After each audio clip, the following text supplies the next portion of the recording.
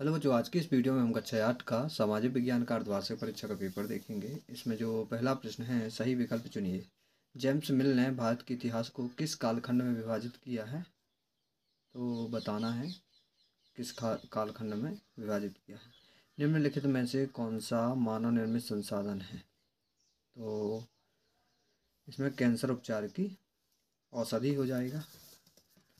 अगला देखते हैं इसका हम। सुनहरा रेशा से अभिप्राय है, गेहूँ से, जिस स्थान पर ऐतिहासिक सामान मूर्तियाँ इत्यादि रखे जाते हैं, संग्रहालय कहलाता है। एग्रीकल्चर शब्द का अर्थ किसके लिए प्रयुक्त किया गया है? कृषि के लिए। रिक्त स्थान दिया गया है। डलहोजी ने का सिद्धांत लागू किया था? बताना है किसका सिद्धांत लागू किया था? भारतीय संविधान का जनक बताना है कौन है?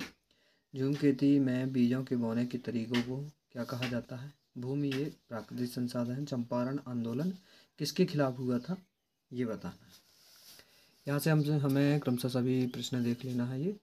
ये अतुल्योत्तरी प्रश्न है। पहला प्रश्न क्या है? धर्म निरपेक्षता से आप क्या समझते हैं? मृदा निर्माण के लिए उत्तरदायी दो प्रमुख मुख्य जलवायु कारक कौन कौन से हैं? सार्वभौमिक मताधिकार से आप क्या समझते हैं? भूमि को महत्वपूर्ण संसाधन क्यों माना जाता है? घरेलू हिंसा से आप क्या समझते हैं? मॉनिटर अपनी शक्तियों का किस तरह दुरुपयोग कर रहा था? ये बताना है। इसका अगला प्रश्न देखते हैं। लघुत्तरी प्रश्न। जल संसाधन के तीन, जल संरक्षण के तीन उपाय।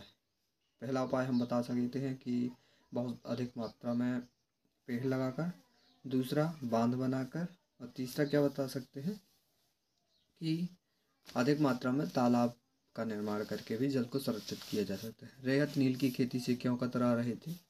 बताना है, पृथ्वी पर संसाधन असमान रूप से क्यों वितरित है? अंग्रेज़ों ने सरकारी दस्तावेज़ को किस तरह सुरक्षित रखा था, ये बताना विधायक कौन होता है, उसका चुनाव कैसे किया जाता है? रोपड़ कृषि क्या है, बताना है। निम्नलिखित के लिए कारण बताना भारत में कृषि का एक प्राथमिक क्रिया है। भारत में प्रति व्यक्ति जल की उपलब्धता कम हो रही है, अथवा में ये है, इसको बताना है। क्या उत्तर होगा इसका? मृदा परिच्छेदिका का नामांकित चित्र बनाना है। अथवा में क्या है, हमारे मौलिक अधिकार कितने हैं, उनके नाम लिखिए, एवं किन्हीं दो मौलिक अधिकारों का वर्णन करना है।